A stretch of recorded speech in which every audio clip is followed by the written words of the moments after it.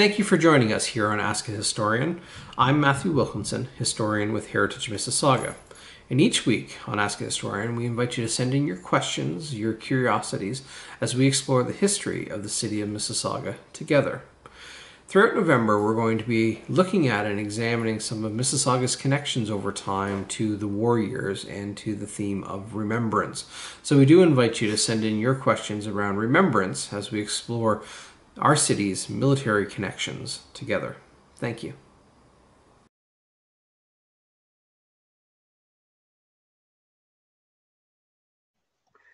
So joining us this week on Ask a Historian is uh, is Rob Stanczyk and Justine Lyn. Rob is the curator for the Museum and Archives of the Polish Armed Forces here in Mississauga, and Justine is the volunteer curatorial assistant. And uh, they've had a hand in uh, the Our Boys exhibit that's taking place in Mississauga, both at the Anchorage and at the Benares Visitor Center as part of the museums in Mississauga. And so thank you, Rob and Justine, for, for joining us this week. And uh, highlighting the connections uh, to uh, your museum and archives and the ongoing theme of our boys and remembrance in, in Mississauga. So, uh, just wondering if you can tell me a little bit about. There's probably a lot out there that uh, haven't heard of the museum or connected with it in the past. Uh, Rob, only I I can't even remember. Was about a year ago that you introduced me to the museum. Uh, and so, uh, wondering if you can tell us a little bit about uh, the museum and uh, and what you do and and uh, how to find you. So yeah, so we are located in Wawel Villa, which is the Polish retirement home, which is located not too far from your actually. It's actually located just a bit down the street from Benares Visitor Center. Um, so as I said, we are a Polish retirement home, and there's many veterans uh, here that live here, a lot of Polish veterans um, after the Second World War. And one of the um, founding members of Wawel Villa was actually a gentleman called Michael Kominek, which was actually also a veteran that served with the 1st Armored Division under the 1st Canadian Army. So him um, and along with others just had this idea that, you know, we should start this kind of place here. But it wasn't until a gentleman called Bolesław Orliński, which was also a um, veteran himself, and he had the idea that you know, we should uh, create a museum here at Wawel Villa to kind of uh, preserve a memory of a lot of these veterans because there was always um, some kind of fear. It's like, okay, what happens when, um, you know, the memorabilia goes away mm-hmm. or if veterans die, like where's all that going to go? So Orliński left uh, some money in his will when he passed away and when he died in 1992. And about 10 years later, uh, the museum was founded uh, which was by the former head curator, which was George Kowalczyk, and another uh, veteran called Krzysztof Szydłowski. So that's why uh, the museum is affectionately um, called the Orliński Museum, kind of in his honor. Yeah, and the collection it consists of, you know, objects, photographs, mm-hmm. archival documents. Um, and one of the things I really love about our collection is that, you know, we'll have an object and then we'll have mm-hmm. um, you know photos of that veteran using the object and documents of that veteran. So we have all these different things to kind of connect. Um, and also to a lot of our artifacts come from all around the world not just mississauga not just clarkson mm-hmm. um, specific. They come from all over the world because um, you know a lot of these people were in poland they were in britain they were in um, you know monte cassino they were in all these different places. So um, I think we're kind of unique in that way. And, and the the material itself, uh, forgive me if I have this as wrong. My impression of it was most of it came as donations from people that were connected to Wawel Villa um, mm-hmm. and, and, to the activity of, of starting a museum up. So you, you, you, it wasn't the museum going out and actively collecting; it was stuff that was coming into you, right? Is that that's uh, yeah, yeah, we very much yeah we very much formed out of necessity almost. Um yeah. yeah because people were kind of giving us stuff and it was like well we need to make a museum out of this you know? Yeah and that's exactly yeah. So yeah at first uh, it came up as a necessity but then once um, people not part of the retirement home just uh, you know around the area also started donating some of their stuff as well. Mm-hmm. so we would have um, some memorabilia from uh, veterans from Toronto and the St. Catharines as well. So it just kind of tried to preserve just um, Polish Canadian veterans just in general yeah. as well. So that's kind of like our collective strategy. Yeah, I mean, and also too, we've also we don't necessarily only collect from Polish people. Um, it's Yeah. not like necessarily prerequisite. I mean, even uh, my dad, he was like, "Oh, I, you know, I'm gonna Mhm. donate." Uh, he had these Solidarność pins from the 1980s, and he's not Polish, he's Canadian, but it's this Polish Canadian connection that we're kind of really interested in. Right.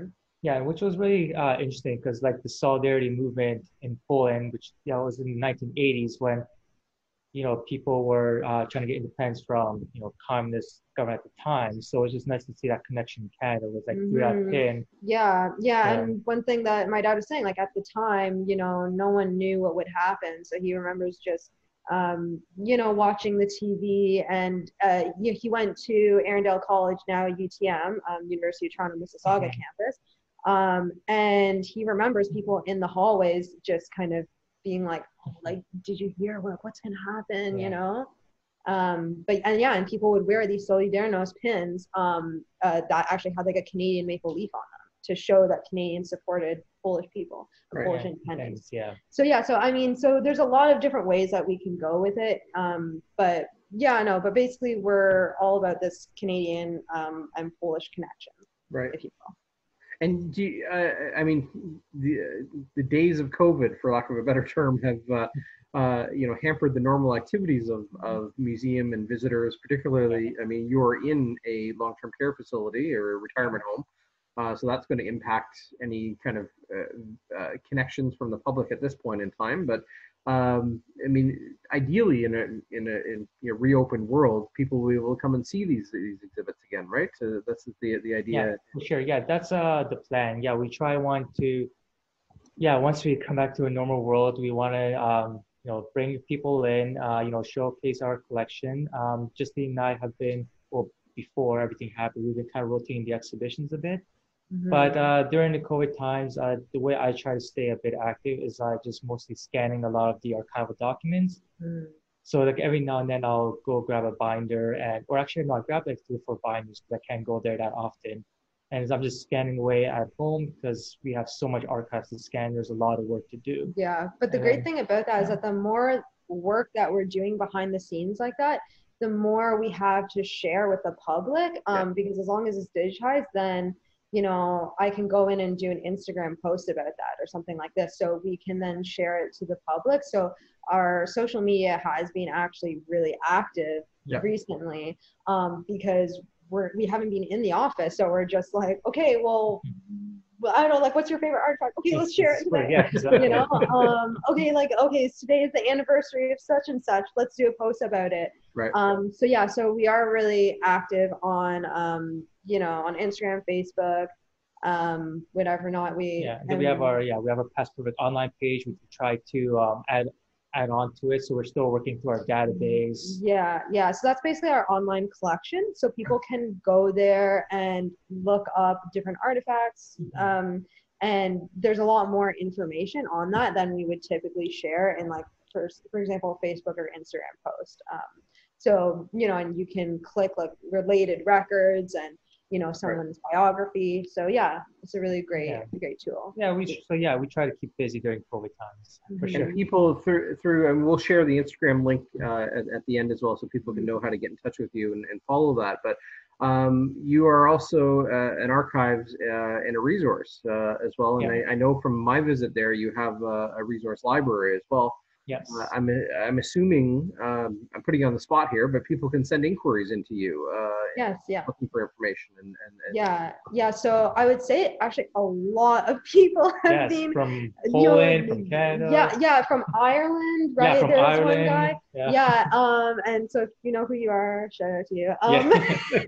um but yeah I know. so and it's hilarious like so many people are messaging us and we actually you know we get talking with these people and Yeah, i mean it's great. yeah yeah like full on conversation. Yep. and it's great um and you know we like to do research for people um as well sometimes you know. Um someone will be trying to find out more about their father's regiment right? And so if we can help with that we're going to help with that. Right. um because at the end of the day we're serving the public so um really no matter where they are um you know if they're coming to us virtually like we're gonna we're gonna help them type thing That's uh, that's excellent, and, and you know potentially that's also a way to engage with your home community as well as you grow and as people become more aware. You invariably have uh, you know uh, Polish ancestry in Mississauga is one of the larger Yeah. demographics, and and uh, um, I'm sure that there are countless people that have looked at doing genealogy and uh, their own Mhm. family connections to to Poland and to the military history of, of, of their past involvement. So no, uh, kudos, and let's you know let, let, let, let's share uh, the- the resources and put people in touch with you. And uh, uh, Yeah, and it, and it's great because you know some of the yeah that you know descent from Polish Canadians like they don't speak Polish that well, so they actually come to us like maybe with like Polish documents, and we have myself or the curators just kind of help them out with that because their you know ancestors' uh, military records are in Polish and they want to know which division they're in. Yeah. So they'll get the information you know from us, which is great. So That's- yeah, no, it's very nice to have some engagement and you know, Yeah. stuff. Yeah. oh, fantastic! I, I, I'm delighted. So, from uh, kind of the broader public and the background of the history itself, you found yourselves involved in uh, the, uh, the theme of remembrance in Mississauga, uh, particularly that about the Our Boys exhibit. And uh, can you tell me a little bit about how you became involved in that, and then we can go into kind of the highlights of of, of that involvement, of who it is that you shared the stories of. So, uh, how did you get involved with Our Boys? Yeah, so how we got involved with our boys. So um, I did. So I'll just back up a bit. So the first kind of um, exhibition that I did here was with another curator, Stan. So when I was working as a collection assistant, Stan uh, reached out to me, and then we formed kind of a really like a partnership uh, there, and that's actually when I got involved with the Museum Archives of Polish Yeah, yeah, Forces. yeah. So at the time, he was working as a collections assistant with museums in Mississauga, Yep. where we are right now. Um, and I also um, work there. Well, we both work here as well. Um, and yeah, and so they reached out to us, Right. um, and then that's how Yeah. how Rob got involved. And then he Yeah. Rob he dragged me into it. So. Yeah, exactly. Yeah, and then uh, fast forward, uh, you know, um, uh, you know, I reached out to Megan and I told her, you know, we do have some great stories uh, of uh, some uh, veterans that live in Wawel Villa. They have a missile connection, and uh, we can really contribute uh, to this exhibition. So we thought it would be a very good partnership, uh, and also just to kind of really showcase the collection in the museum as well. Yeah, yeah. Shout out to Megan Wiles. She, sure. uh, yeah, she's the um, exhibition um, coordinator at Yeah. Museums of Mississauga, and um, yeah, and so she helped us like put together a lot of like these text panels and Yeah. everything. Yeah. So she she helped us a lot with this exhibit for sure. Phenomenal. Yeah. And then the material I can see behind you. Um, Yeah. Uh, I Yes, see the, it looks like a naval uniform, um, Yes. and that these are from your collections as well? Yeah, so, yeah, yeah. We have uh, yeah the naval uniform Yeah. of a gentleman called Tominsky, which we are going to talk about. Yeah. Uh, we have a painting in the back here of this person with mustache here. Yeah. Uh, very nice mustache, I should say. uh, his name is uh, Joseph Piłsudski, which was he was very um, instrumental in Poland's independence. And then uh, yeah, this is other here. We got a model of a plane, and then around here also got like a um, uh, an RAF uniform. You RAF can't really uniform. see Can't that. really see that. Yeah, and then behind Rob's head, yeah, there's like the Polish like blue army Yeah. outfit. Okay. Yeah, yeah. So, um, yeah, This so that was like one of the. This is more topics. inspiration to have people come and see it. So this is. Yeah. Yeah, no, for sure, for sure. Yeah, yeah. We, we can't show everything in this video, but Yeah, Yeah. yeah. um, but yeah, that, that, that's just like a little bit of, of what we talked about. But and I also too, um, because I kind of um, did the exhibition installation and kind of how it would look and feel, Design, if yeah. that makes sense. The design, yeah, thank you. Um, so I kind of, you know, I tried to like, you know, put something so at different angles you can see different things and you can like look crouched down and stuff like that. So there's kind of stuff you know um Yep. to see everywhere not not to say it's like too crowded well, hopefully not but um, but you know what i mean it just um like a variety of different artifacts to choose from so Well, it's done. So uh, you, you mentioned uh, Orlinsky by name and that you wanted to talk about them. I wonder if we can make this a, a segue into that and uh, tell us about some of the highlights of uh, of uh, of your collection's connections to our boys. I don't know if that's a bad segue or not, but uh, uh, the people that you talk about and, and kind of explore the a little bit of the stories of the individuals. Yeah. So we talk. Um. So uh, we talked about three main things in this exhibit, Yeah. um, which Rob can speak a bit more to. Um, and then afterwards, we can go into a little bit more detail. Yeah, yeah. Yeah, so uh, the first, the three things that we kind of highlight in this exhibition. So one kind of talks about the Polish Blue Army, and one of the reasons why we wanted to um, highlight this topic is because it has a very good connection to Canada. So what the Polish Blue Army was, it was an army that was trained trained in a place called Camp Kościuszko, which is located in Niagara on the Lake. Okay. And uh, the story kind of goes is that um, there were some representatives from the United States and they came to Canada because they wanted to make a Polish army. But um, America at the time wasn't in the war, but Canada was. Right. So they really advocated for a um, army there because just to put some uh, context is that um, during the sorry, uh, during the First World War, uh, Poland didn't really have you know a country, right? The Polish armies were uh, divided into different kind of Mhm. empires and countries. So, you know, one would have been under the German Empire, one would have been under the Russian Mhm. Empire, and Austrians, and and then you have this Polish Blue Army that was founded in Canada and they'll be fighting in France. But it's really interesting because a lot of these Polish soldiers were trained by Canadians, and a lot of them were actually already being trained in secret in um, University of Toronto. Yeah. So that's uh, one of the things we want to just highlight here because that has a very good uh, Canadian connection. And yeah, the other gentleman that we um, highlighted was Bolesław Orlinsky. He was a World War One and World War Two veteran, um, and he uh, lived at Wawel Villa, which was very and he was very instrumental in founding the Orlinsky Museum. And then we talked about also um, Romuald uh, Tyminski, who's the person with the uniform there. Yeah. And his kind of biggest highlights, he saved uh, 85 Canadians in the Dieppe uh, raid there. Mhm. Um, just need to get talk more about him after, but he did also live in uh, Wawel Villa as well. So he also donated a lot of his things and really advocated for veterans getting a lot of their memorabilia preserved. Right. Um, I, I'm sorry, you, you dropped the, the bombshell of saving 80 Canadians at Dieppe. Um, Mhm. I, I want to learn more. How? yeah, yeah. So I yeah, so I can talk a bit more to that. Um, so Romuald Tyminski, so his um uh his uniform is right there. Uh, so he was born in 1905 in Poland, and he was in the Polish Navy. He graduated from the Polish Naval Academy in uh, Torun in uh, 1928. Um, and at the um, beginning of the Second World War, so you know we know Poland falls, um, and so he, many Polish had to escape at that point. Um, so he escapes on a sailing ship called the Iskra, and he goes to Casablanca and uh, eventually makes his way uh, to Britain. And in Britain, he becomes the second commander of the Błyskawica. Okay, now this is like kind of a little bit of an aside, but it's really cool. So the Błyskawica is actually um, the sister ship of the HMS Haida, which is the, a Canadian ship and is um, a floating museum docked in uh, Hamilton. And the Błyskawica is actually now also a floating museum in um, uh, in Poland. So they're kind of both sister ships and also Yeah. both sister museum ships. Like, so it's kind of really cool. So he was so he was on the Błyskawica and he was in the Norwegian campaign and the Battle of Dunkirk.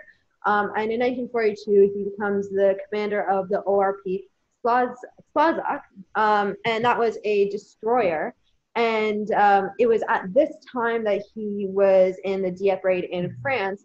And um, I found this really interesting, um, uh, kind of these memories from this one um, veteran named Joe Ryan. He was a Canadian in the Royal Regiment of Canada. Um, and he was there that day, and he remembers um, that no one did more than he did to get the Canadians out that day. Um, so Ryan didn't know this at the time, but he actually went against orders um, when this happened. So there was a whole bunch of uh, ships there, and they were all told, like, you know, don't go close to shore because then they would be in line of the fire. So they were told, you know, not to uh, go close to the shore. Um, but you know, he's Tyminski is seeing all of these poor Canadians Mhm. trapped on the beach and they, they have no way out. Like they're just being surrounded. They have no way out. Right. So he goes and um, heads straight for shore, guns blazing. I mean, this guy is so cool. And um, and then he um, Ryan talks about how he, how he like abruptly turned and there's mud and rocks and water flying everywhere, you know. And then the and then the Canadians get on and uh, you know, and then they hightailed it out of there.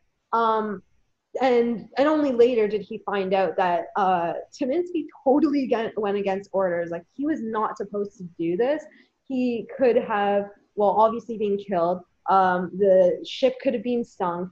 He could have been court-martialed. Like Mhm. there's a lot of things that could have happened to him. And heck, he wasn't even Canadian himself.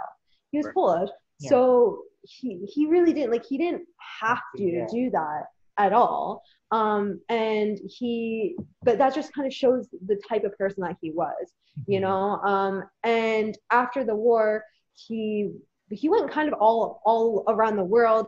He was in um pakistan he was in um bahamas um in in their navies. And um in the 1980s he moved to canada and uh, he actually lived at Wawel Villa as well um but he didn't just like he he actually continued to um, you know make life in Canada even better. So he was part of the uh, Canadian branch of the Polish Naval Association. In fact, he was instrumental in founding that. Um, and then he was also part of the Canadian Royal Regiment um, of the, the Veterans Association.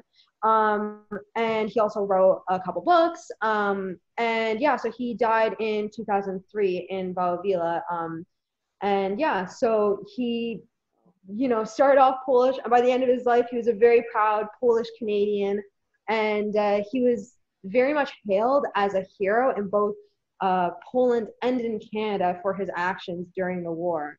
And it's just crazy to me because I mean, I'm born and raised in Mississauga, and Yeah. I never heard about this. I have not And either. it's- Other, It's you are the amazing, and he literally lived right in Mississauga. Um, so I, I think it's a really Yeah, great like right- story that we're telling here. Yeah, even I didn't know. Like, um, even though I'm, you know, Polish myself, born in Poland, uh, was practically raised in Canada, and then I learned most of these stories actually joining this museum.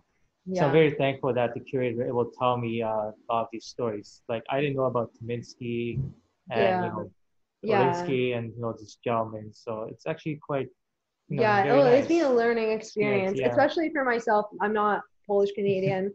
I'm, I'm just Canadian, and so you know, it, it's been a really huge learning curve, and but it's been great. It's been a really great learning experience, and Tyminski's story is, in my opinion, like one of my favorite stories out of out of our museum, um, and I really connect to it as a Canadian.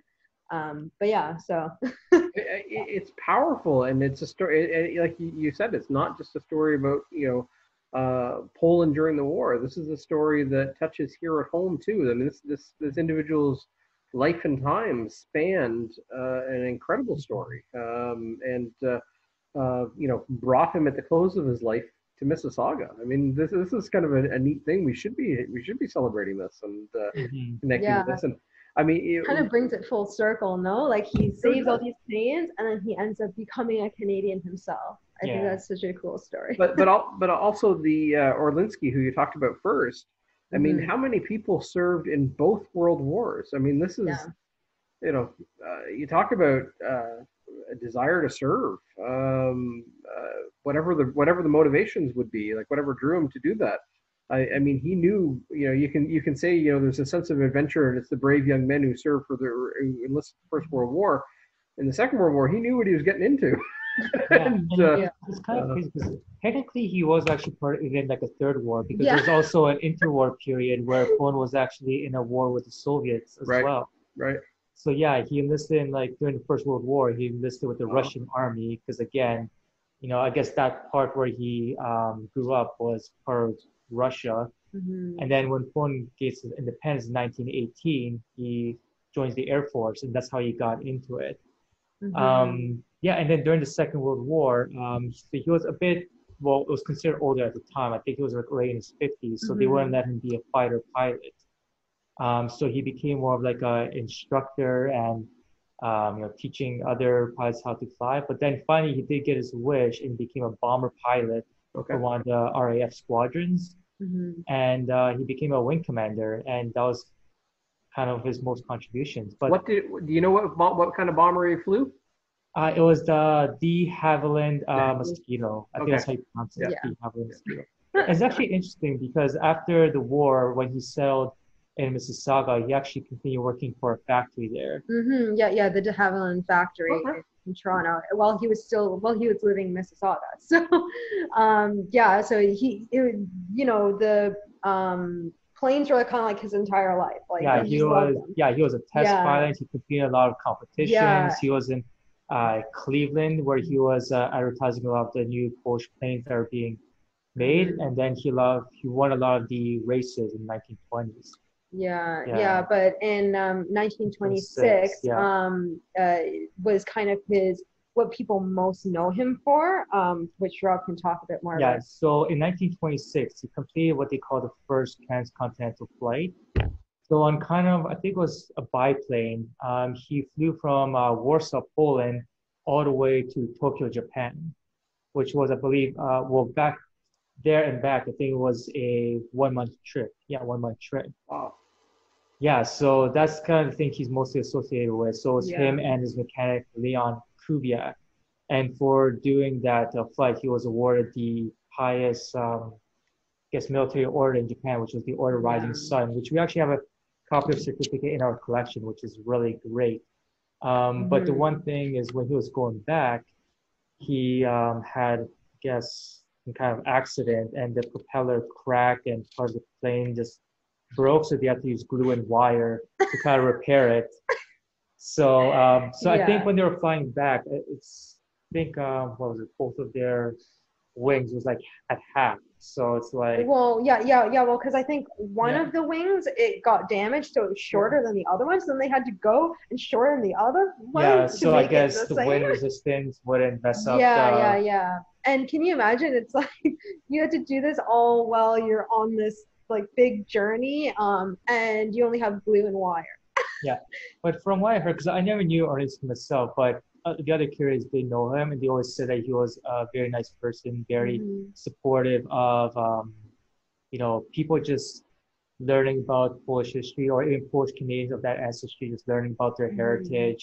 Um, that's why he actually set up a fund um, to actually promote that. So if anyone had a research project they want to do, they can apply to this grant kind of thing. Mhm, mhm. And also, a lot of the money, like I said earlier, went into fi- founding this museum. Yeah, yeah. So- So, that's so that's why. It, so it was basically his wish that eventually there would be a museum Yeah. that would be kind of more officially founded for this that purpose. Right. Um, and so that's why when it was founded about ten years after his death, Yeah. um, uh, you know, it was very much affectionately known by all the residents as the Orlinsky Museum. I mean, a lot of these residents like would have remembered him and stuff. So um, yeah, so to this day, to be honest, like we honestly, when we were going back and forth talking about, it, we call it the Orlinsky Or Museum. museum, yeah. Like technically, it, it, the official name is the Museum and Archives of the Yeah. Polish Armed Forces, but we just love the story of Orlinsky. So, Mm-hmm. Um, and we love to kind of carry on that tradition of affectionately calling it the Orlinsky Museum. You know, like he's still with us today. So, There's, there's a storytelling aspect to it, to be honest. And, Mm, for uh, sure. you know, if you could go back in time, I know you said you didn't meet Orlinsky yourself, uh, Rob, but uh, what would be a fly on a wall if you had uh, Tominsky and Orlinsky in the room together and hear their stories? I mean, that must have been Oh Yeah. no, that'd That be would've been really great. fascinating. And we do actually occasionally still have veterans uh, visit the um, Mhm. the museum. I think when you were actually uh, over, there was that one gentleman there, Marcus Ostrovsky, Mhm. which he actually sadly, unfortunately, passed away Yeah, recently. yeah. So rest in peace. Thank you for your service. Um, but yeah, he actually donated uh, a lot of his stuff to Mhm. our museum, so we're actually going to go through that. So that's actually Yeah. another project. right. Another project. the, the nature of collections. It doesn't stop. Yeah, Yeah. It, never, it never ends. It never ends. Um, Uh, and, and you wanted to also touch on uh, an, another Mississauga connection to uh, to Polish Canadians, and uh, um, yeah, yeah. So we didn't we didn't actually talk about him in this um, exhibit, but we thought that um, it was just a really great story. Um, so you're getting the exclusive content here. um, so yeah, so Rob, Rob can talk a bit more about that. Yeah, so um, the person uh, that we're going to talk about is uh, Janusz Żurawski. So he has uh, quite a um, connection to Mississauga. But just a bit about his life. He was uh, born in Poland. Uh, that's where he trained to be a pilot at uh, this one school called Dęblin. That was actually the major school where a lot of the Polish pilots um, mm-hmm. uh, trained. Okay. And um, yeah, so he joined uh, the Polish squadrons, and at the start of the Second War, um, as his common story, Poland falls, and then he escapes uh, to France um, through Romania, and he joins uh, the Polish fighter squadron there in France, and then he makes his way to the to England. Um, but I think uh, during um, World War II, Żurawski had a bit of an A status. Like he um, was able to knock down two of the Luftwaffe planes. Um, and he was actually also uh, commander in one in some of the squadrons. But the one thing that's really interesting is one of squadrons that he was in, I think it was Squadron 306, it was with a gentleman called Potocki uh, Władysław Potocki, which was also a test, well, he was a fighter plane, but he was also a test pilot with Żurawski in the Avro Arrow as well. Yeah, yeah. So later on in life. Later on in life. Yeah. But yeah, after the war, he went, he stayed in England. Um, he um, joined the Avro Aero or Avro there. And then he came to Canada. Um, the Avro Arrow was in Malton here. And then he was a test pilot. And he he was uh, the uh, test pilot for the CF-105, which was one of the very important ones. I think he was actually the first one to actually test that. Mm. Yeah. yeah. and then he worked with Władysław Potocki there as well. So it's just a nice connection that both of them, you yeah. know, fought in the Second World War, and then they come back together and now they're testing things in Canada. Yeah, bit of a bromance. Kind of bromance going on there. So I thought that was uh, really interesting. And then actually, I just recently learned from you that they actually named a trail um, after him here in Mississauga, we call it the Jans Trail, Jans Trail. Yeah. Which I actually didn't know until you let yeah. me know. So it's kind of cool. It said, and you've gone to see it, so you know it's real. Yeah. the, um, and, and we had the, the interesting one where there's only a couple of, uh, uh, of uh, places in Mississauga that are named after an individual's first name um, Jans Trail being one, and there's another park down on Lakeshore Road called Richards Memorial Park, where they're named after the first name of an individual. Usually it's a surname, and uh, part of the reason for the first names in both of these cases were people had difficulty with the Polish surname uh, in terms of its pronunciations. Uh, and so the, those, those recognitions are on their landscape, and they're a story into themselves, I think, and it's kind of a fascinating thing. I always think maybe this is we can put this as an, an out there, if, if you don't mind my a, a moment of my uh, reflection here um, uh, Potocki, uh, uh, Spud as he was known, or yeah, Spud, yeah. uh, Władysław Potocki. Um, Jan gets the credit, and, and he's the, the poster child for really the the Avro Arrow. Yeah. But uh, flew more in the arrows than Jan did. Jan retired mid program and retired up to Barry's Bay, Ontario, where. Potocki was with the program for most of its run and, and flew more time in the Avro Arrow than any other pilot. Um, and uh, you know, I would say we, we've now honored Jan Żurawski, so perhaps uh, uh, Spud Potocki is uh, is down is on the yeah. list for another name. yeah, but sure. um, and yeah, and I would actually want to do more research on Potocki. Like I did look into it a bit, but I think he has a very like interesting story. Yeah, yeah, yeah. Well. Yeah, we have we have more artifacts that are associated with Żurawski, which is why we more focus on him. But yeah, no, um, but yeah, his, his story and uh, you know his friendship with Potocki is uh, is definitely really interesting. Yeah, so yeah much better um, Yeah, yeah, and I mean I don't know. There's so many things that um, are kind of you know named after Żurawski and stuff like that. Yeah. Um, we were recently at Barry's Bay, and yeah. um, there was a whole park dedicated to him, and it has um, you know the av- a model, a scaled down model of the Avro Arrow. It has like a statue of him and everything um, and that's in Barry's Bay. And then um, I there's also I I wanted to bring it today. I forgot, but there is a book, a children's book yeah. that's all, actually called The Great Zura, and it's about him. Um, and it's so cute. I love it. But um, I did a little reading of it on our Instagram, so you can yeah. find it there. So we'll yeah. send that. We'll send that link. People can go to your Instagram and yeah, no, and have a story. for yeah, sure. but it's a very great book, and actually, I think it Mhm. was made last year, actually. And Oh, I. Okay. I came across it, and I'm like, I have to get this. Yeah, yeah, and they were actually going like really quick. So I'm like, oh, thank God I was able to get one copy. yeah, yeah. They're going like hotcakes. yeah, which was really surprising. It must have been very popular. And Yeah, he's a popular guy.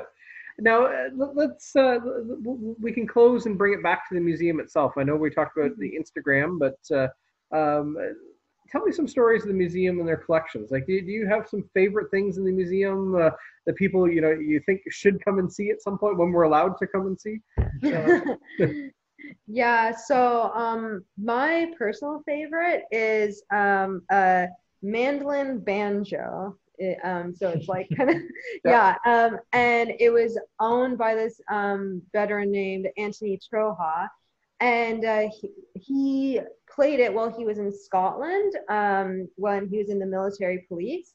Um and of course then he came to canada and you know um and he brought it with him and stuff um, but it's so cute. Like I don't know, I just like love it. Um, and we have a photo of him playing it and everything. So and we even have the receipt, and so we can see how much he paid for it. Like I, I don't know, I get really nerdy over that stuff. I think that's yeah, and it's really cool because what came with that uh, banjo, uh, the notion it was like a whole album of him and his squad, and there's just so many pictures of him playing uh, uh, the mandolin Yeah. banjo, and it's just very nice. Like during tough times, you know, they're trying to put some music in their lives, some Yeah. entertainment. yeah. So Well, from, from the theme of remembrance and, and service and you know gratitude to those that serve regardless of where they're from um, we, we, we tend to look at you know the military involvement the battles the, the Mhm. fallen soldiers uh, not necessarily uh, life during those times of a soldier uh, or of Yeah. a military person and maybe that tells a story that you know that's that's worthy of remembrance in its own right in terms of of uh, you know everyday life finding comfort in times of Yeah. trouble Mhm. um, Yeah, well, there's this other um, children's book that um, I got recently um, called The Soldier Bear. Um, I can't remember exactly who it's by now. yeah, yeah. Um, but uh, it's about Wojtek the bear, who was um, a, a mascot for the Polish um, military. Uh, I can't remember which unit it was now, but anyways, um, but they they basically found this abandoned bear and they adopted it. Like it's kind of like a Polish Winnie the Pooh. yeah, I and was gonna say, I yeah, was gonna say. yeah, they, Yeah. yeah, they gave him a rank and everything. He was, I think, Yeah. a private to Wojtek. I think he was part of these supply units. I think they had him like carry some units, yeah, yeah, some yeah, yeah. supplies They would have him carry carry things Yeah. along the line. So there was, I believe, one battle that he fought in. Yeah. yeah. Yeah, I know, but it's very cute because you know they there's pictures of him when he's small, but then he's gradually getting Mhm. bigger, and it's just Yeah. yeah, you bring a lot of joy to the poor soldiers. Yeah, yeah, yeah, yeah. Oh, so and that's, and that's the thing. I mean, they would have dogs, they have cats around, uh, Wojtek, um, and you know, and musical instruments. Um, there's pictures of them playing cards, um, just Yeah. all all different types of things. So they're just trying to have you know this this moment of like levity and just be happy in the moment. I guess you could say. Actually, one of my favorite things. Just recently, I was scanning uh, stuff about uh, one of the gentlemen that actually founded Wawel Villa. Uh, his name was Michael Kaminek, and there's actually photographs of him. I think it was in um, Scotland while he was training during the Second World War, and he's like doing magic tricks. yeah. He's just doing magic. He's like practicing magic, and that's how he's entertaining the soldiers. And like I he's got it. like a top hat, and I think he's got like a bunny and everything. like wow, that's a very interesting hobby you got there. yeah yeah it's You really know, cute but yeah but also too not um one, one thing that i also wanted to say is like not every um person that we talk about is even necessarily like a soldier you know Yeah. um so i think so rob was going to say Yeah. about his favorite um object um which was from someone who wasn't even a soldier Yeah, so uh, one of my favorite artifacts uh, comes from this uh, woman called Maria Vronska. So Maria Vronska was a resident at uh, Wawel Villa. And uh, so what she donated was a um, fork and a um, spoon. So at first glance, it just seems like normal utensils, but then when you turn it around, there's actually a Nazi symbol.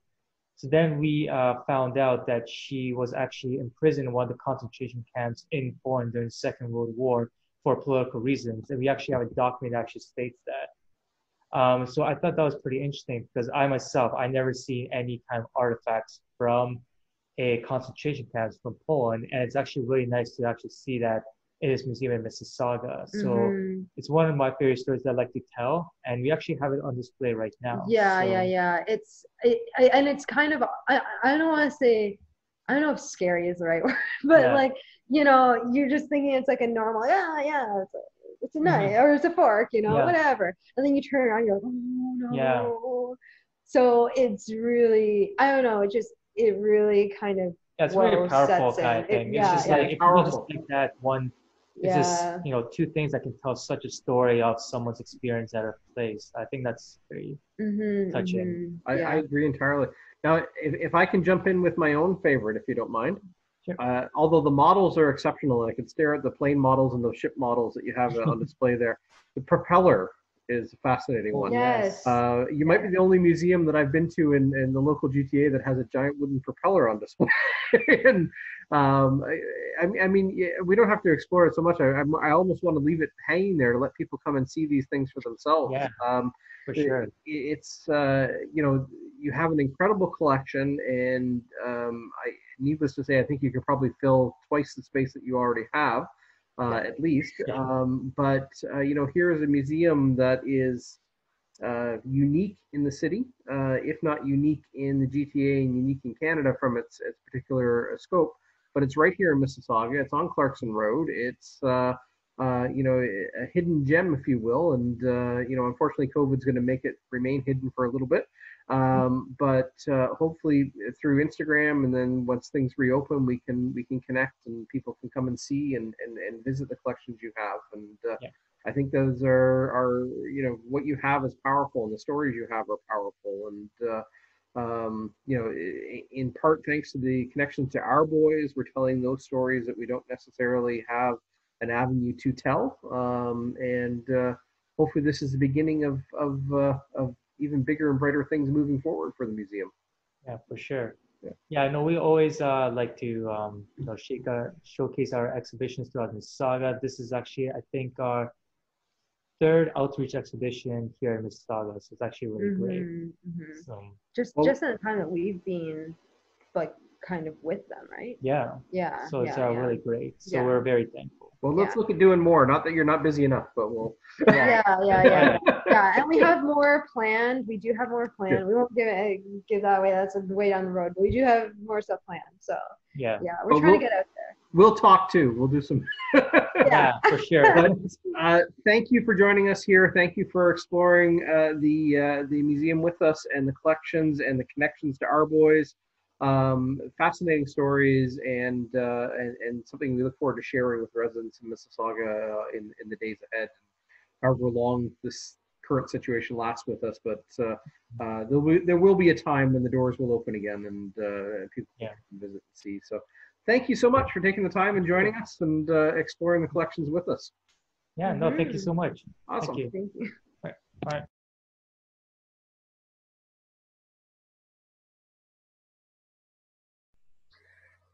Well, thank you uh, for the uh, for joining us this week, Darin, on Ask a Historian, and uh, we're joined. Uh, Darin Wybenga is the traditional knowledge keeper and land use coordinator at Mississaugas of the Credit River First Nation, and uh, uh, thank you, Darin, once again for, for joining us, and this week for an exploration on connections to uh, war and remembrance at uh, at, at New Credit, um, and uh, we ha- you have a talk coming up uh, on uh, on Saturday, November 14th, with the Museums of Mississauga as part of the Our Boys and War Flowers program, and so uh, we'll, we'll put some links up at the end of the program for Oh. that.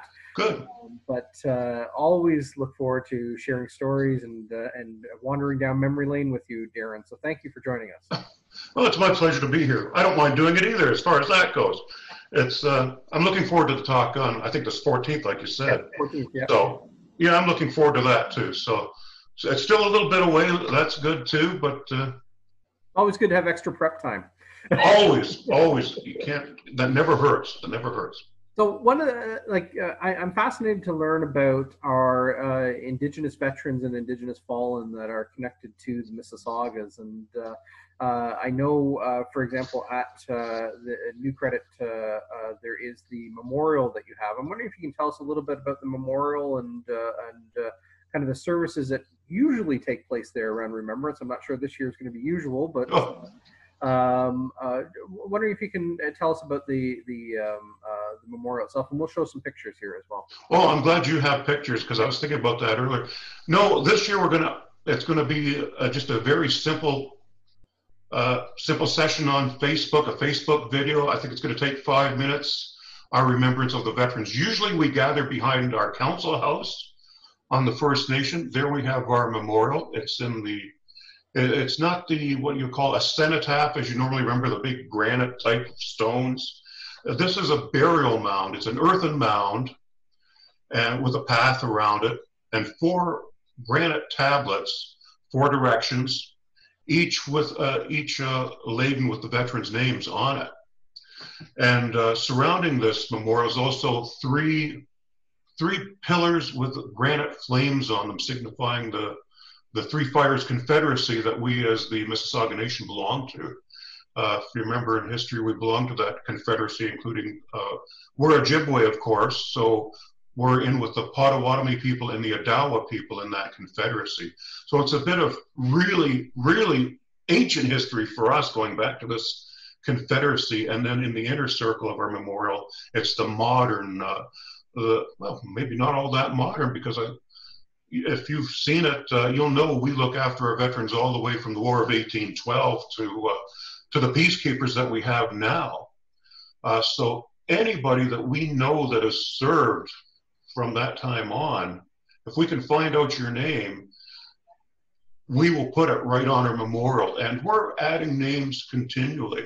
Oh wow! Uh, so so it's it's always a work in progress for us. Uh, so right now we just recently added a couple peacekeepers last year, but uh, let me think about this. I think right now we have two War of 1812 uh, veterans. We have, oh, geez, now I got to get my conflicts in order all of a sudden. Uh, funny thing is, we don't have anybody from the rebellion of 1837, the Upper Canada Rebellion. Uh, we're pretty sure we were involved there too. I'm sure. But nothing, but but nothing official yet for us. Uh, the next, uh, we have the American Civil War. Two of our band members were involved in that. We have uh, the Boer War. I should say what the second Boer War is the correct term for, for that. One member for that. Our only casualty, our only member, and our only casualty in that conflict. Uh, we have uh, World War II, of course. Uh, 30, 32, no, 36 band members uh, uh, participated, and uh, 36 names, 32 for World War II, three Korean conflict members. And I think we're in the range, I'd have to check my notes again, but probably 26 peacetime service members. So, you know, I, I, I like to think we're a peaceful people, but really that, usually when there's been a conflict, we've somehow been involved in it. Uh, it's, a, it's a source of pride yeah. But it's also maybe, you know, a source of sadness too, all this conflict going on through the years. But at least I can usually say if, if there's been a new credit band member in the major incidents in, in Canada's uh, military history. I was going to say I don't know your your your population makeup or demographics or, or, size or whatever the right term is, but you know, given that number of participants over time, and I, I know the population is not a, a, massive population. You're looking at a good percentage of your of your population who are stepping forward to serve in times of conflict. Uh, I, overall, I would think. Oh, we did quite well. I can I can really speak better to World War One. I. I think we had 282 band members in uh, 18, uh, pardon me 1914, and if we sent out I think 36, what it is what I said, we were at I believe 11 percent which is slightly higher than the Canadian average. I think the Canadian average was eight. Yeah. If that that sounds right to me. And so, not all of them made it over there, of course. Uh, so, you know, a few did make it overseas for whatever they got ill before they actually made it over there, and uh, But yeah, that's a significant percentage, and these are your able-bodied men of the First Nation. So all of a sudden, they're not out tending the farms because we're primarily an agricultural community in those days.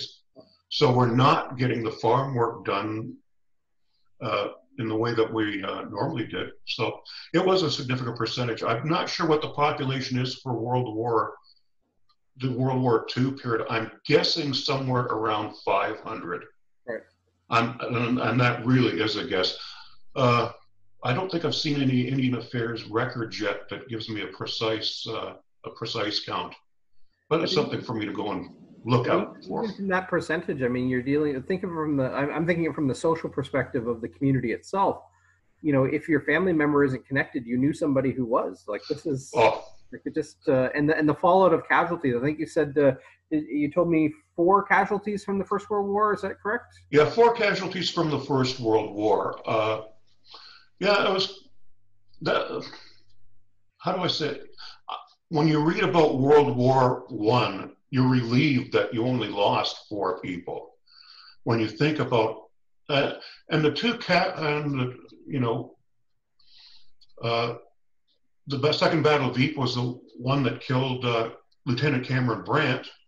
He's one of our uh, what shall I say? One of our one of our more important veterans. I don't like putting one veteran higher than the other, Yeah. but he's uh, very representative. He's he has a connection to Six Nations, of course. He's you can tell by the name of Brant. He's the great great grandson of uh, Joseph Brant, the the Mohawk war chief uh, that fought for the British during the uh, Revolution. So he's got representatives of Six Nations. He's a New Credit Band member. He was a resident of Hamilton when he was killed. And he was a member, of course, a resident of Brant County. So he's got all these things going on. And so he's kind of an, important for that, uh, for that reason. Uh, so he represents a lot of people in that sense. And uh, yeah, he, he was kind of, uh, yeah, he was one of our brightest and best. Uh, and he got he gets taken down in this this nasty battle. At, and it was only what I think the 23rd of April. I think that was the second day of that, or is that the first day of the battle?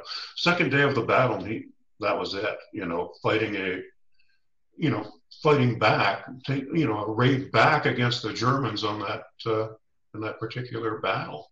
Did, uh, do you do you have any uh, any knowledge or information of how the community uh, received the news and or look to commemorate him uh, at the time? I mean, that's uh, going back in time, looking at, at other other material, but Right. Uh, the community. I'm gonna well put it this way. I can tell you how his wife found out about it. His both Cameron and his wife, uh, Flossie, her name was Flossie or Florence, Florence Phillips, that's her maiden name, were living in Spring Street in Hamilton at the time. He just before the war started, he moved to Hamilton to, to take up a job as a sheet metal worker. So they're living on Spring Street he he enlists right away in 1914, which is very unusual. A First Nation man enlisting in the early days of World War One and off straight away. Uh, he's over there. He gets killed in the Second Battle of Ypres. His wife finds out about this. She's taking letters from her apartment down to the postman. She's writing letters to Cameron Brant, and she's taking them down to the I suppose it's the mailbox, and dropping them off at the mailbox. By the time she comes home, there is a messenger waiting for her. And of course, she gets the bad news that he's been killed in battle. And she was just devastated. I'm very glad to hear that she had her sister in law with her at the time to kind of help her get through that. Yeah. If you see Cameron Brant's service file, oh my goodness, the amount of work she went through to try and get his personal effects is unbelievable. She's constantly writing and getting no answer. Finally, she does, however, uh, you know, achieve, uh, get some get some satisfaction that way. Uh, and I'm assuming the people at New Credit either learned about this in the Brantford reporting and the Brantford papers from nearby, or maybe she phoned down here. I, I don't know. I've never heard how the actual community found out.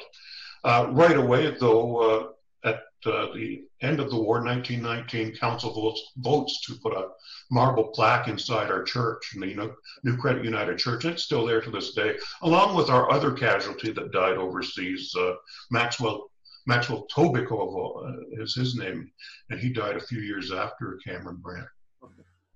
Uh, that's a that's a good segue because I wanted to bring up uh, and, and at the end of this segment we're going to run a, a, YouTube link for anyone who's interested. But uh, a few years ago you did a uh, a video with the Great War Attic on uh, a poetry book comes home about the the uh, book that belonged to Lieutenant Cameron Brant. Right. And you also mentioned about medals that he received. I'm just wondering if you can give us kind of a brief how, how the poetry book came to you and, and how you medals and and then after this this uh, uh, after this segment, we'll uh, post the link for anyone who wants to uh, to see that uh, the, the video itself because it's really well done. Right. The uh, okay. The poetry book. I was sitting in the library because I serve as a librarian too for the First Nation, doing some work over there, and somebody phoned me out of nowhere from the town of Picton, Ontario. She was a seller of used, kind of like a rummage sale store, secondhand goods. It was some charity type of store anyway. And she said, uh, she phoned me up, uh, would you like a book from from Cameron Brant? And I'm thinking, okay, sure, cautiously, okay, sure.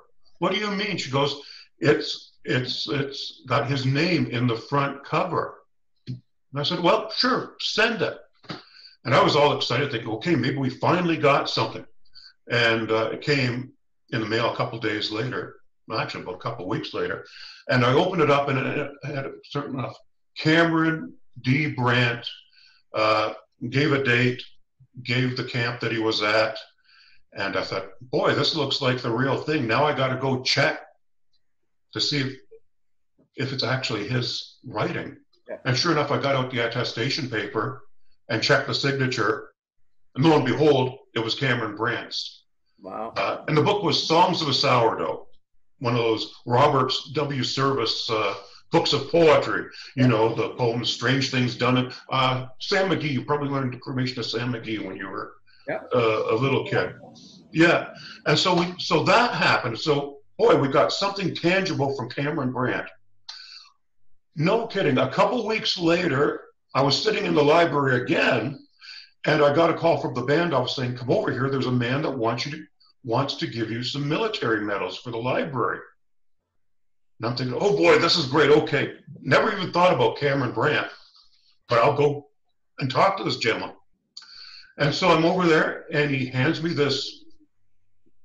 It was basically uh, what do you call it? A sandwich bag full of medals. Okay. Not not full of well, you know, there was uh, there was the death uh, dead man's penny in there. Like what they called the, the memorial plaque they call it, I think, is its real name. Yeah.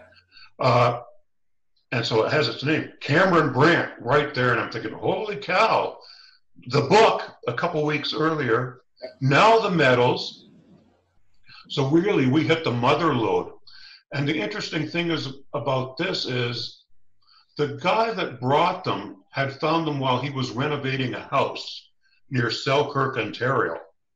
And he found them secreted in a mantle. Now, the funny thing is, the mantle normally would have stayed at the house. He was just renovating it, is going to leave it. But then he asked the owner of the house, listen, can I take that mantle with me? I like it. So he's taking the mantle apart and he finds these medals hidden in them, in there. And for the life of me, I couldn't think of how they got there, and he couldn't think of how they got there. And so I said to him, whose, whose property was it before? And the name was Smith. I thought, oh, that's, well, that's interesting. I'm grateful to have the medals. Thank you very much. And then I thought, well, you know, how am I going to find out about this? I decided to look up Floss, uh, Flossie Florence, his wife's, if she ever got married again, just out of curiosity. And sure enough, she did. The man's name was Walter Smith. So now I had my Smith connection. Why they were hid, I you know, I'll never know. But there the medals were. We have them. We have them now, and we're grateful to uh, to have them. Another very tangible thing with uh, with Cameron Brant. You know. Do you, do you did you similarly were you able to trace the poetry of how it uh, ended up in Picton? You know, I, I really don't know. I didn't see any of that listed in the service file and his effects. Right. Uh, I'm still leaning that's probably what happened. It came in the personal effects. But then I got thinking as well, well, what if one of his buddies picked it up? Yeah, yeah. And, you know, he saw this lieutenant reading it. Well, I'll take it. He's not going to use it anymore. Yeah. Uh, and what I love about that poetry book so much is because uh, First Nations people were seen as very bloodthirsty, vicious warrior types out on the battlefield, and it was painted that way in the media, and even the Germans looked at them. Uh, I think it was the minister of the militia at the time. Who was it? Sir Sam Hughes. Yeah. Said something to the effect, "No, I don't want uh, first." Well, he said Indians, Indians in the war right away because the Germans won't extend to them the rules of civilized warfare, so we better not do that. And here you have a very a very civilized man reading poetry, very very not First Nations reading poetry in his downtime on the front. I said, and you can extrapolate things from that. Uh, probably educated, probably literate, probably well spoken. Oh, probably. exactly. like I said before, he's probably one of our very, very best and brightest that uh, that was taken from us. Who knows what he would have been, what what he, what he would have done? Uh, I think he might have been a good candidate for chief one day if he would have uh, been able to stay around. I always say that's the when you look at the uh, veterans' names uh, of the fallen. I said it's not just a life ended. Um, there, there's a good chance that it's a family that's ended because either they uh, were were not yet married or did not have a chance to raise children. Um, it's it's the end of it's not just the end of one line it's the end of a end of a larger story and uh, right. uh, you think of the young ladies in the community that might have uh, gone on to to have families and, and with these individuals that never had that chance. And so you know, you don't know right? Like like it's almost you like really the, don't. the society changes course when it does. we're lost. And it does. uh, how old was he when, when he when he when he fell? Uh, let me see, 1887 to uh, 1950. And oh boy, you wouldn't know I understand math. Taught math before. 28. Uh, 13 plus 15, right? 28. Yeah, 28. Yeah. Well, 28. Uh, and had no children, and had been married at this time for about three years. I think he was married in 1911. So you know, I don't know. You, it's one of those things. Yeah, you'll never know again. And uh, Flossie, his wife, went on, like I said, got married again and ended up having a family. So, it, it, you know, it, prime of life, beginning of life. I mean, you know, you establish yourself, and like I said, he took a job in Hamilton, probably to better circumstances from a finance perspective, and. Uh, and but but stepping forward when the country calls, and and I, I know we're in a in in a, a I don't know what the right words to say, but an, an age of reconciliation and right an understanding of of of uh, cultural divides and and you know how we bring people together and uh, and and walk forward together. I think the the, the term is uh, walking the same path side by side, something like that. Right. the case when Cameron stepped forward. I mean, this was you know for whatever compelled him uh, and others to serve uh, they were living in a world that was not uh, did not see them necessarily as equal citizens. Um, exactly. I find it kind of strange. Canada at the end of World War Wars, World War One is looking for more equality with the rest of the world, trying to get under the shadow of the British uh, British Empire. You know, more equality, more autonomy, and it was exactly in my to my way of thinking what the First Nations were fighting for in a large sense at that time. They also had to try and prove their worth, and so that they could have a greater autonomy and equality with the. You we know, of course, that didn't work too well because you know we're here we are, two, 2000, 2020, and we're still we're still working at it anyway. But at least it was a step forward. Uh, yes, uh, um, uh, with a cost as well, of course, but, but Right. a step forward. Now, if we could step forward a bit to, uh, I, I'm doing bad segues today. I apologize. Oh, that's all. That's all right. you, you had mentioned uh, uh, relatively recently the loss of a 95 year old veteran in your community, um, uh, uh, Bill Tobico, I think you said. Yeah, Bill Tobico, William Tobico, I think he's known as just generally known as Bill around here. Yeah, he just recently died in 2018. He was our last uh, veteran from the Second World War. Uh, he actually lived in Utah. He he lived in New Credit for his early years, and just shortly after World War II ended, he lived here for a few years.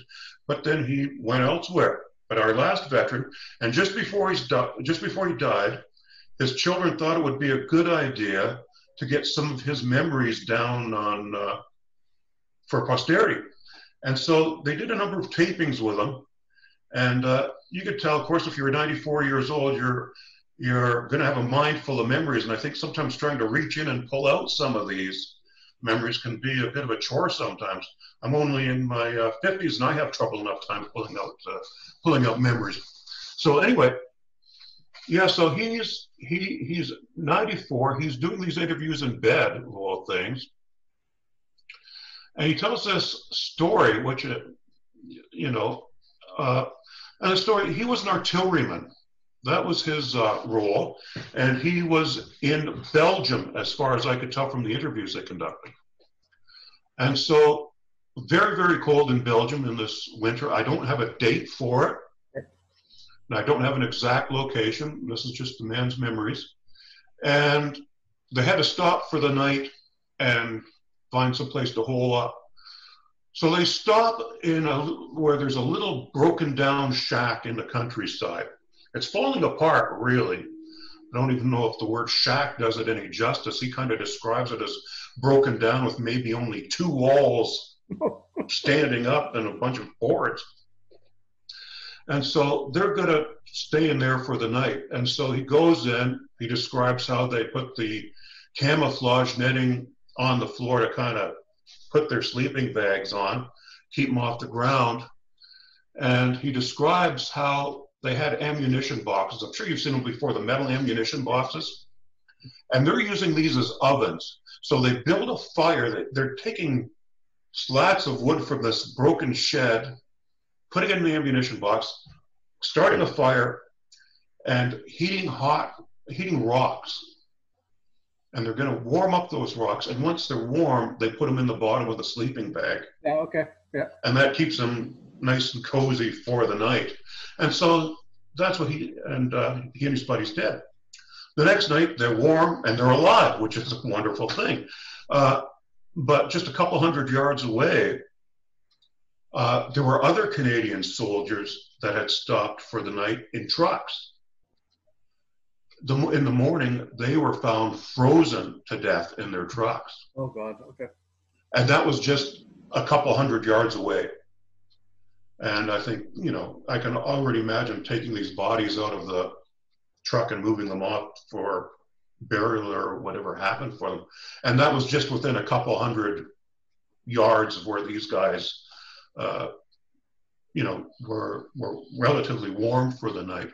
So uh, the fortunes of war, you know, what more can you uh, can you say? They weren't even being shot at. It's just the climate that got Yeah.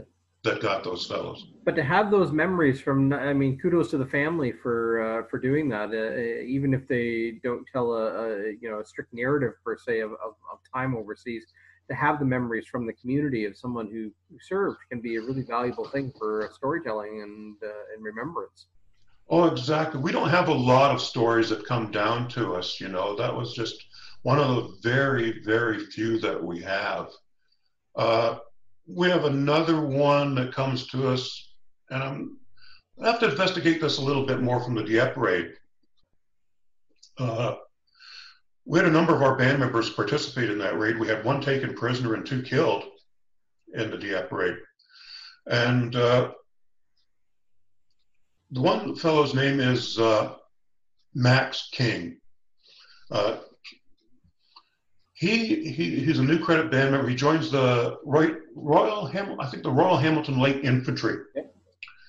And they're one of the units that, of course, attacked on that day, attacked those fortified positions in the French port of Dieppe. And uh, he's with his brother. Anyway, the story comes down how he was killed.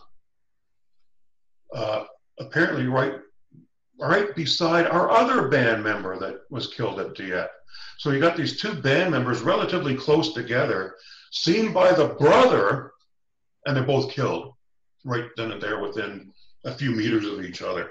So a devastating day for New Credit anyway, probably the most devastating day for in terms of warfare anyway for our First Nation. And the funny thing is, Max Max uh, Max wrote a wonderful little report for a paper called the Pine Tree Chief at the time. And that report came out in January of uh, what was it, 1942. Eight months later, he's dead in August for the Dieppe parade. And he tells of his enthusiasm for joining up. Oh. Uh, it's one of these things where, boy, oh boy, we're excited. We got the uniforms. We're feeling, we're feeling tough. Uh, we're excited. We thought the war was going to end before we got over there. Uh, we see the old veterans from the previous war while we're here in England, and you know they're impressed, and they and they went for the adventure. He admits it as much, and and then it comes to this bad end in uh. Uh, and funny thing is, he just got married a couple months earlier. He dies with an unborn son. Uh, so and the interesting thing about that is that uh, the the widow, she's only been married for what uh, a couple months. She moves to Canada, and she moves to the First Nation, and marries one of the brothers that actually stayed home during the war. Uh, so it's kind of interesting, and the son was eventually adopted by that brother. So it's one of those interesting kind of we got. I guess I, I, call it a war bride story coming over here. I can't imagine the culture shock for her coming from England.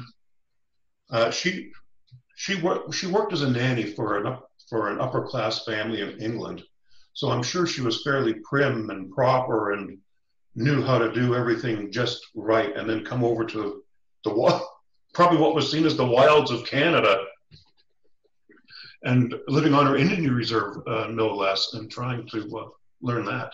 Well, if you, th- if you, th- if you think about it in general terms, that's hundred years after Eliza Field Jones did the exact same thing. And yes, exactly, exactly. that, that, I never thought about that before, but yeah. Yeah, yeah. The culture shock all around in a way, but also, you know, what does that bring to the community? Because you said, you know, an unborn child who now is raised in at New Credit, um, and and then goes on to contribute significantly to that community, right? That the... Well, yeah. Max, of course, was a Max. Uh, Max Elliott King was his uh, was his son, and goes on to become an educator in the nearby uh, in the in the area nearby town of Cugey's. Uh, I think was a vice principal there, principal at Hagersville High School, principal at our school on the reserve. Uh, did all kinds of work with government and hospital boards. So really a contributing member to uh, to society. So uh, you know, Max Max uh, Senior, I guess I guess we'd call it. Uh, yeah, he we thank him for his service and now the service of his son. Yeah. Just to remark, you know, where fate could have if, if the mother had decided not to come. I mean, like the. exactly. What compelled her to go to uh, to Canada? She must have must have dearly loved this man yeah. and dearly loved the family. I can imagine him sharing stories with her about her family, what life was like in uh, in Canada. uh, for for uh, individuals like Max, who were who was killed overseas at Dieppe, um, I'm, I'm presuming that they're buried in some of the Commonwealth cemeteries over there, the soldier cemeteries. And... Yes, I have somewhere along the line. I do have a picture of that. Uh, of that.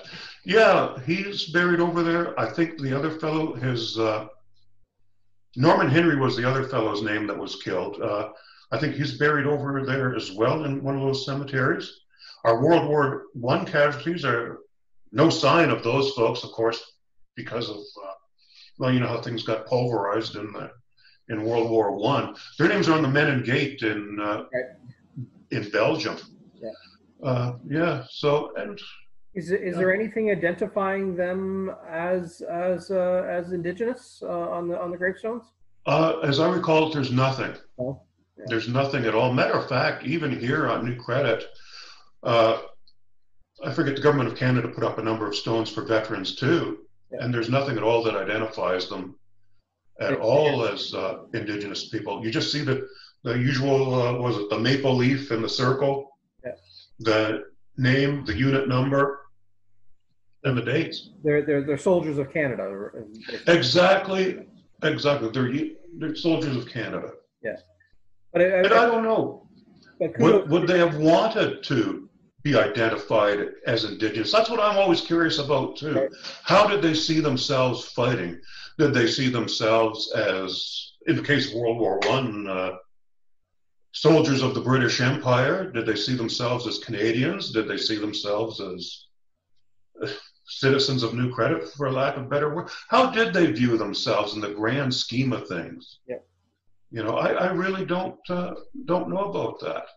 I often wonder if it's our generation that looks back to apply or try to make sense and apply uh, a terminology to previous generations uh, in a sense because in many cases i know from from from my community's perspective um, we don't often have those personal letters that have their own views on on the world and and their place in it so um, yeah they, they they enlisted with the canadian forces but they wanted to serve and there was probably no other option for service right so this is There really wasn't. Uh, uh, yeah, one. Some of our band. Uh, I think one of our band member. In, trying to think of the name. Oh, his name escapes me right now.